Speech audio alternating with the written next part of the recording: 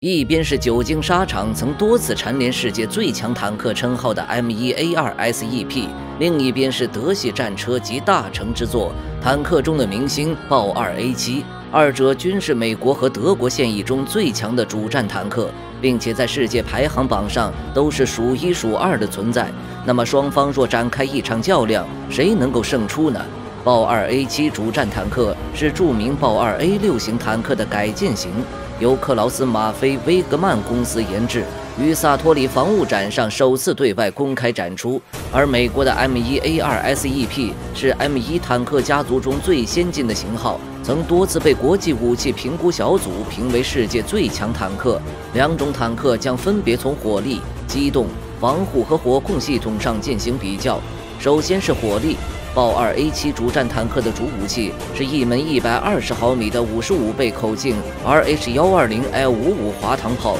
炮口初速1730米每秒，可发射包括尾翼稳定脱壳穿甲弹、多用途破甲弹和可编程榴弹，标准射程5千米。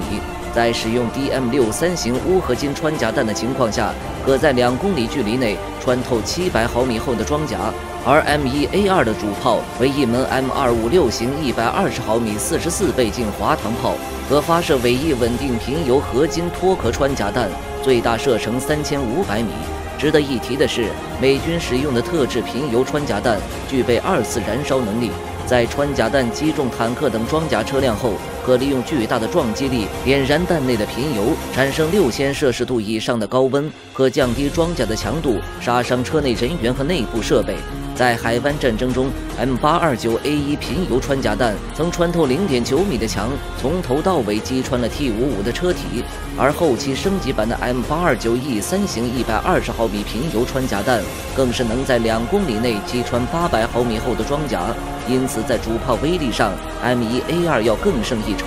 动力上，豹 2A7 配备有一台 MTU 公司研制的四冲程十二缸微型水冷预燃式式增压柴油机，输出功率一千一百千瓦，从零加速到三十六公里每小时仅需六秒。如此强劲的动力，即便豹 2A7 的战斗权重达六十七吨，却依旧有着七十二公里每小时的最大行驶速度。而和豹 2A7 几乎有着同等重量的 M1A2SEP。则是装备一台燃气涡轮增压发动机，输出功率同样是一千一百千瓦，在动力上和豹 2A7 处于同等水平，但涡轮增压发动机的油耗过高，M1A2 的最大行程只有四百五十公里，足足比豹 2A7 短了一百公里，而且速度上前者也要稍逊一筹，仅六十八公里每小时。不过，相比柴油机，装备燃气轮机的 M1A2 加速更快，启动噪音也更低，所以在动力方面，豹 2A7 和 M1A2SEP 双方各有优劣势。单从数据上很难判断出胜负。豹 2A7 的优势主要在于速度快、行程远、维护和保养成本低、更方便，在长途奔袭、持久作战上要强过 M1A2SEP。但是后者采用燃气轮机，起步加速快，机动更灵活，红外特征小，噪音更低，不易被发现，隐蔽性好。因此，在短程缠斗中，M1A2SEP 要占据优势。至于这两种坦克究竟谁能够扬长避短，将自身优势转换成胜势，就要看具体的作战环境了。在防护方面，豹 2A7 在炮塔前部、炮塔两侧前部以及车体正面都采用了最新的 MAMAIP 复合装甲，并且炮塔前部还配有楔形复合装甲套件，侧面及顶部的防御相比豹 2A6 也有了一定加强。据说豹 2A7 炮塔正面对动能弹防护能力可达800毫米，抗破甲能力达到了1500毫米。另外，在今年二月份，德国曾斥资四千三百万欧元向以色列拉斐尔公司进口了二十三套战利品主动防御系统。随着反坦克导弹的普及，光靠坦克自身装甲被动防御已经远远不够。毕竟坦克还要考虑机动性，不可能无限制增添装甲，加装主动防御系统，也就成为了未来坦克的一个发展趋势。在此前数次巴以冲突中，巴方就曾多次利用反坦克导弹和 RPG，从不同角度偷袭以色列装甲部队，给对方带来了极大的损失。饱受折磨的以色列，早在2010年就研发出了战利品主动防御系统，并将其装备在了梅卡瓦 Mk4 型坦克上。事实证明，该型主动防护系统在实战中的表现十分出色，曾在一场战斗中连续摧毁了三百多枚导弹和 RPG 火箭弹，极大的降低了敌军的损失。而在豹二 A7 加装战利品主动防御系统后，会进一步增强其防护能力。不过，M1A2 SEP 的防护能力同样不可小觑，即该坦克在炮塔和车体前部装备的贫铀装甲。贫铀装甲是由贫铀合金材料特殊热处理后制成，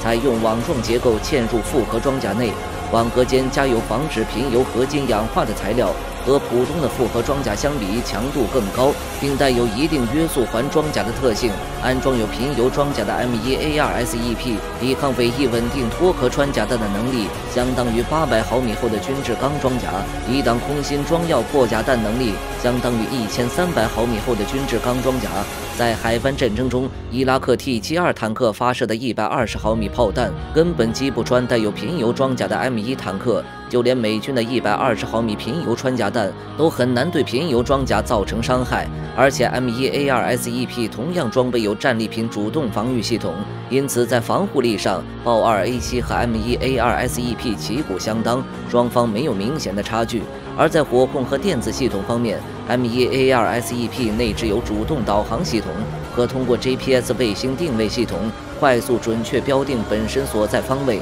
火控上配备有独立瞄准镜组件，车长位安有一台一千三百一十六乘四百八十像素的显示屏，可观察敌友各方的配置和行动。另外，相比于早期的 M1A1、M1A2 SEP 换装了更为先进的第二代前视红外仪，可将视野放大五十倍，最大探测距离达到了六点八公里。同时，坦克还采用了 CO2 激光测距仪，可以提供六千八百米的搜索距离和三千两百五十米的精确射程。豹二 A7 则是装备了 EMES 十五指挥仪式火控。车长位带有双向独立稳定周视镜系统，包括三个直接光学瞄准镜和第三代 ATTICA 热成像仪，不仅能够实现猎歼目标，动对动的射击精度也十分高。据说豹二 A7 在机动状态下打击移动目标的首发命中率高达百分之九十九。另外，该坦克同样装备有激光测距仪，最大测量距离为九千九百九十米。车体后部还有一具昼夜后视摄像机。使车组成员有着三百六十度的观测能力，在电子设备的比较上，豹二 A7 要小优一些。综合来看，由于 M1A2 SEP 装备有特制的 M829E 三型贫铀穿甲弹和燃气涡轮增压发动机，因此在火力和灵活上比豹二 A7 要稍强一些。而豹二 A7 的优势则在于火控、速度，二者各有优劣。不过，考虑到 M1 系列坦克参加过多次实战，战斗经验更丰富，武器性能更成成熟，所以在两种坦克的较量中，M1A2 SEP 获胜的概率更大。